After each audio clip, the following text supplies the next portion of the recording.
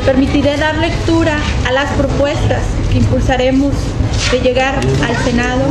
como legisladora. En primer lugar,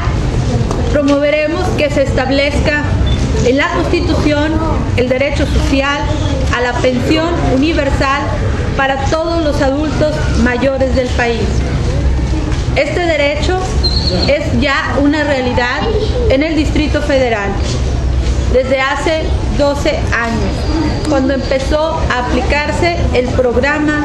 de la pensión alimentaria para los adultos. Recordemos también que en noviembre del 2003 se aprobó la ley que establece el derecho a una pensión de adultos mayores, una pensión que por lo menos es la mitad de un salario mínimo vigente en el Distrito Federal. Otra de las iniciativas que también tendremos a bien impulsar es elevar a rango constitucional el estado de bienestar.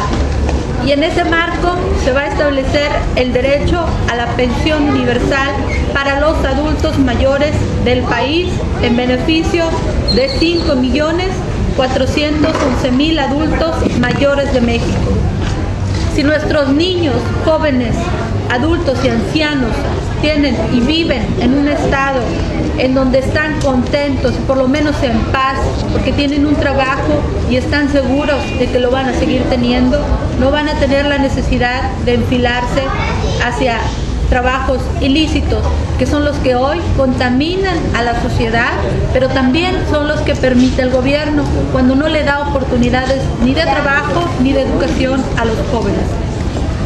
Otra propuesta más será en coordinación con el candidato a la presidencia del movimiento progresista, Andrés Manuel López Obrador, y esta es de impulsar la suscripción de la declaración Monterrey, cuya propuesta fue hecha por la ADIAT, para que en el siguiente sexenio se respete la ley y se destine a la ciencia y a la tecnología el 1% y no el 0.4% como lo están viniendo haciendo los gobiernos sexenio tras sexenio. Como se acordó en el Congreso de la Asociación Mexicana de Directivos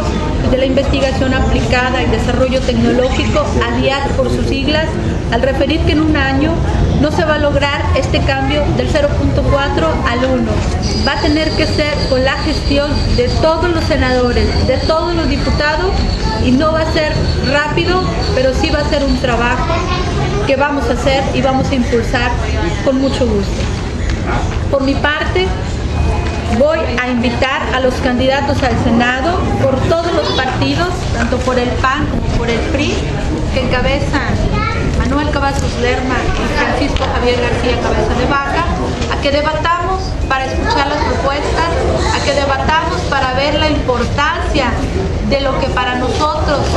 refiere llegar al Senado. ¿Alguna pregunta que tengan ustedes?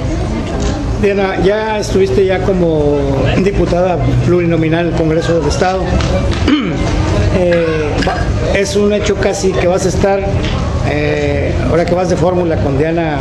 eh, con, la- con nuestra corredora Guevara al Senado, ¿cómo estar, qué, qué se espera si tu voz se perdió en el Congreso, en esa oposición que tenías? Eh, ¿Tendrás eco con tus propuestas allá en el, en el Senado? Pues la voz de una persona contra una mayoría no depende precisamente de esa analogía, quién tiene más apoyo o quién tiene menos, sino depende de cuáles propuestas son las que llevan sustancia, cuáles propuestas son las que llevan sentido de ser, cuáles no son las mejores, pero sí las que más sirven a la ciudadanía. Si a nosotros nos dicen que somos campeones en propuestas, pero también nos dicen que somos campeones en que la mayoría del PRI nos haya desaprobado esas iniciativas que llevamos al Pleno, la vergüenza debe de ser para el PRI, porque si iban encaminadas a ayudar a la gente, a la sociedad que más necesidades y más vulnerable está, pues la vergüenza no es para mí, es para quien está en contra de la sociedad, que no lo decimos nosotros, ahí están las iniciativas, el contexto, el contenido de las mismas está grabado en la historia del Congreso de Tamaulipas.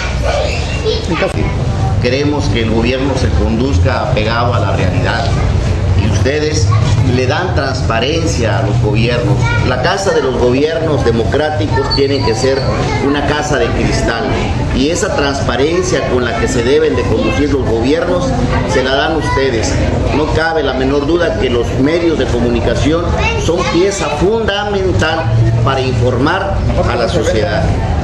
Gracias, agradecemos su presencia.